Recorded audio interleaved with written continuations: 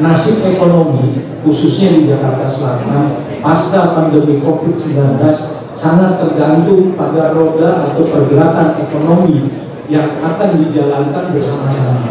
Tentu pemerintah kota Kota Jakarta Selatan mempunyai tanggung jawab dan mempunyai amanah yang besar untuk menjalankan roda ekonomi.